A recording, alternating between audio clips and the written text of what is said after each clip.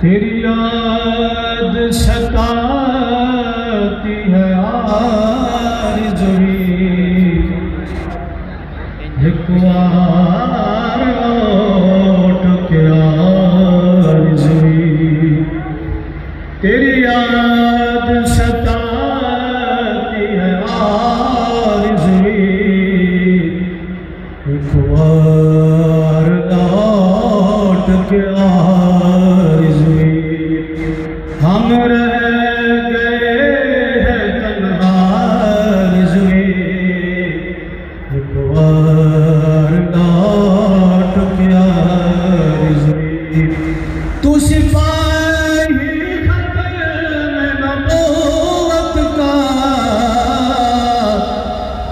तू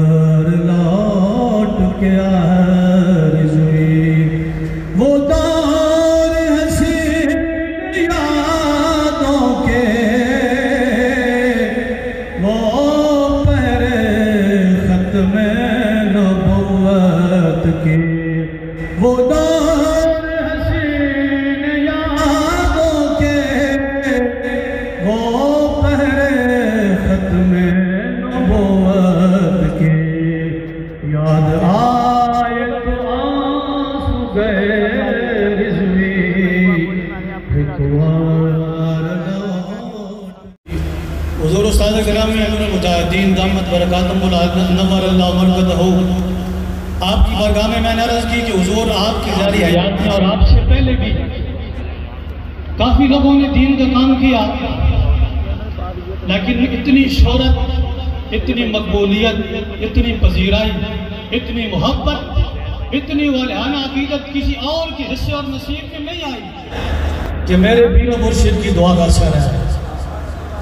कि मेरे वीर मुर्शिद हाजी पीर साहब रहमतुल्लाह ताला अलैह आपकी दुआ का असर है और आप ही शेख तरीकत फरमाया करते थे कि रिजवी साहब जैसे लोग देखने को भी नहीं मिलते और दूसरे आदमी शेख फरमाया करते थे मौलवी जी ਤੁਸੀਂ ਯਾ ਰਸੂਲ ਅੱਲਾਹ ਤੇ ਕਹਿੰਦੇ ਹੋ ਕਦੇ ਉਹ ਸਮਾਂ ਵੀ ਬਣਿਆ ਯਾਨੀ ਯਾ ਰਸੂਲ ਅੱਲਾਹ ਤੇ ਤੁਸੀਂ ਕਹਿੰਦੇ ਹੋ ਕਦੇ ਇਹ ਸਮਾਂ ਬਣਿਆ ਕਿ ਹਜ਼ੂਰ ਸਾਹਮਣੇ ਆ ਗਏ ਹੋਣ ਉਸਤਾਦ ਸਾਹਿਬ ਫਰਮਾਉਂਦੇ ਕਿ ਮੈਂ ਵੀ ਖਾਮੋਸ਼ ਰਿਹਾ ਤੇ ਹਜ਼ਰਤ ਸਾਹਿਬ भी खामोश रहे और मैं दूसरी वजह यह है कि मौलाना, मैं जो कुछ किताबों चो पढ़ा इश्क मोहब्बत दी जड़ी गलों किताबों चो पढ़िया तो मैं बचा के कदे नहीं रखिया। अगे फ़ौरन मुंतकिल कर देना। यह नहीं कि एक जुम्मा इसने पढ़ा देगी अगला जुम्मा तू बयान कर देंगे है नहीं फरमाया। फरमाने की जो भी मैं किताबों इश्क मोहब्बत की मिलती सन तो मैं फ़ौरन अगे सप्लाई कर देंगे सर ताकि उम्मत तक पहुँच जाऊँगा फरमाने मौलाना तीसरी गल कि जिसन मैं महबूब बनाया तो फिर मैं उसना निभाई। मैं जिसन महबूब बनाया तो उसना निभाई। चाहे मेरे कितना मर्ज़ी नुकसान उठाना पाया, लेकिन फिर मैं पीछे ना हटा। फरमाने लगे, मौलाना, ऐसी वजूहातन जिन्हों की बिना से मेरे आका ने मेरे गर्म नवाजी फरमाई। और मेरे तो ख्याल है कि आला हज़रत रहमत के शेख तरीकत हज़रत शाह रसूल फरमाते थे, अगर रब ने मुझसे पूछा हाँ शाहजी कानू ज़िंदगी दी सी की लेके आए हो? आपने शायद फरमाते, सर, मैं इमाम अहमद रजा पेश कर देंगा कादी सनाउल्ला पानी पत्ते की पीर हज़रत मिर्ज़ा मजहर जाने जाना ताला अलैह। आप फरमा करते, अगर रब ने मुझसे पूछा हाँ मिर्ज़ा मजहर जाने जाना तुमको ज़िंदगी दी थी। दुनिया से क्या हो आप फरमाते मैं काजी से अल्लाह पानी पानीपति को पेश कर दूँगा।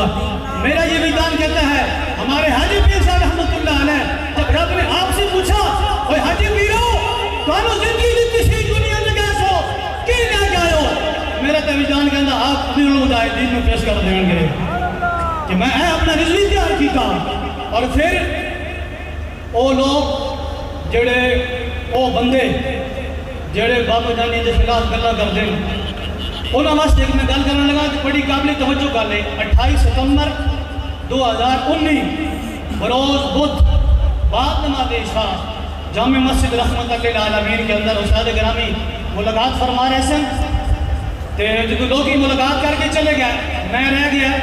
तो मुफ्ती जयामत कादरी साहब वो मौजूद सन। एक और मौलाना भी आपके शागिर्द लोग भी मौजूद सन। तो उन्होंने मौलाना ने कहा जी, असी साढ़े मजूब आया सिंध तो। कादरी मजूब सिंध तो आया तो उन्हें दादा साहब आके हाजरी दी तो असं हाजरी दे के दादा साहब को निकले बाहर तो मौलाना कहते कि मैं मजदूब न पूछा कि यार उस्ताद साहब के बारे में काफ़ी लोग गल् करते हैं काफ़ी लोग गल् करते हैं तो वह कादरी मजदूब कह लगा कि जोड़े गल् करते हैं वो पिछले जा रहे ना छड़ दो वो मौलाना कहते मैं फिर गया। कि यार उसाले ग्रामी अमीर मुजाहिदीन के खिलाफ काफ़ी ज़ुबान दराजी करते हैं कई लोग। उस कादरी मजदूब हूँ भी ज़िंदा। ओ फरमान लगे इमामबिया वसल्लम फरमान देन और रिजवी के बारे गल नहीं करते हो तो मेरे बारे गल करते अल्लाह ओ फरमान दे कि ओ रिजवी के बारे गल नहीं करते। और उन्होंने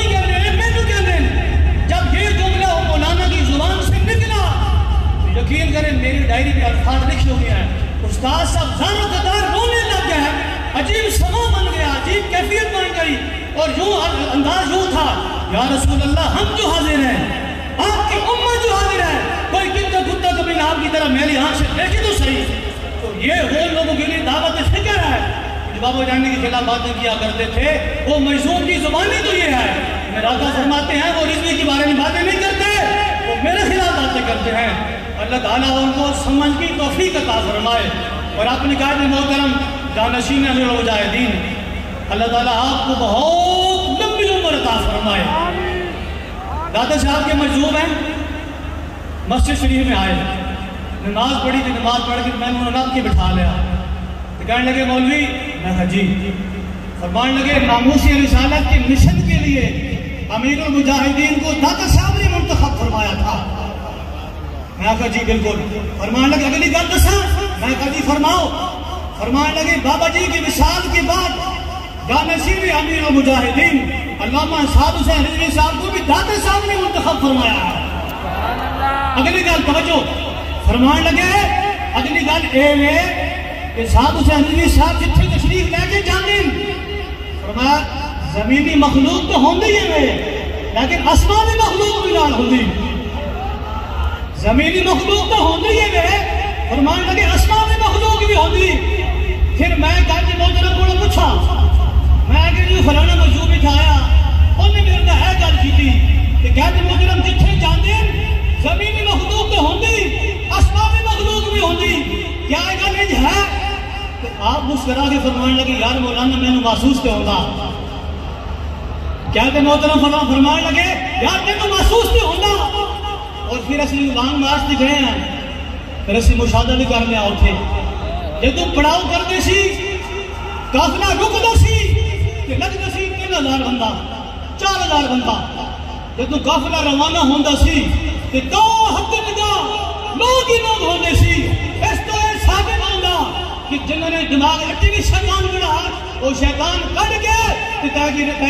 कि साथ खड़े हो जाओ।